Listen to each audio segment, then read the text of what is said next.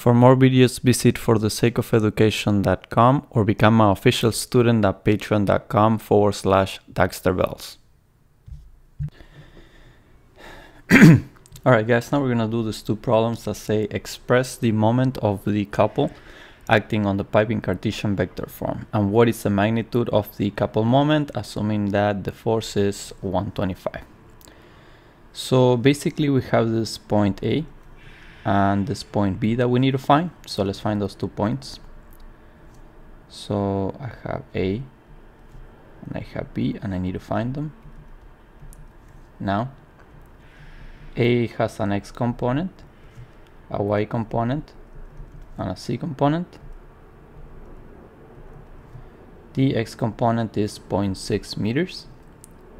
The Y component is uh, negative 0.15 meters and the C component is in the XY plane so it's 0.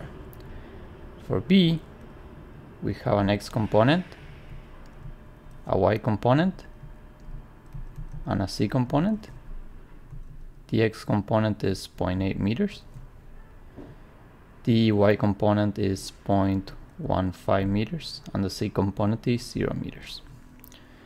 So now you can write the um, Cartesian vector form, which is 0.6 in the i minus 0.15 in the j. Sorry about that. Let me erase that.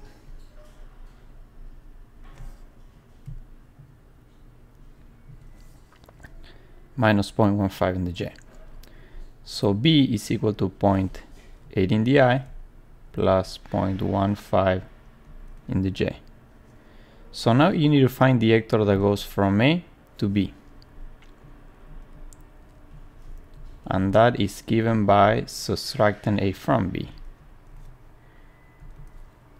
And that gives you 0.2 in the I plus 0.3 in the J. Now that you have the vector that goes from A to B and you have the vector of the force, the force vector is given by going up 125 in the k. So with these two vectors, you can find the moment that the couple force is creating. And that is equal to the cross product of A, B cross F.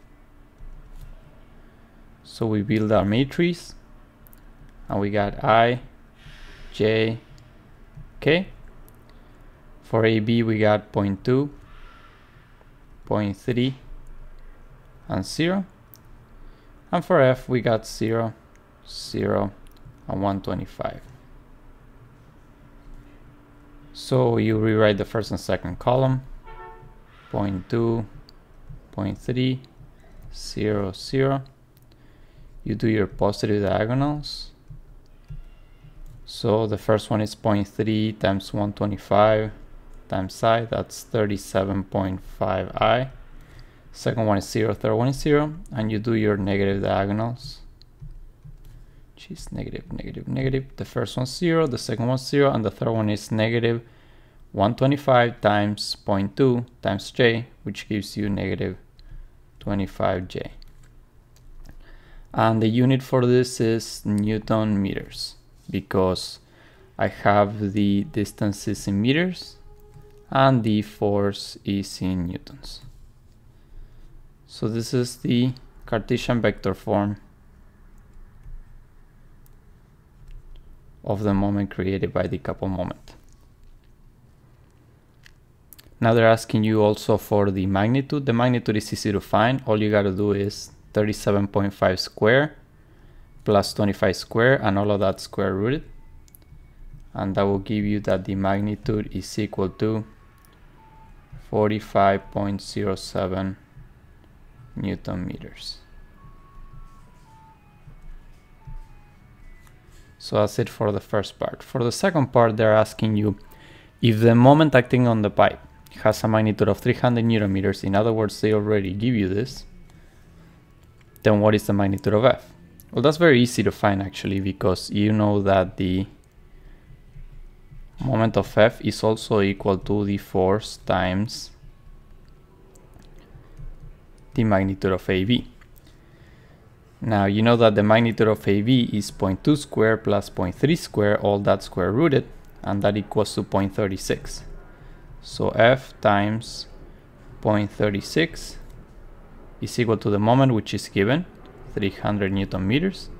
So you solve for F and you're gonna get that F is equal to 833 newtons.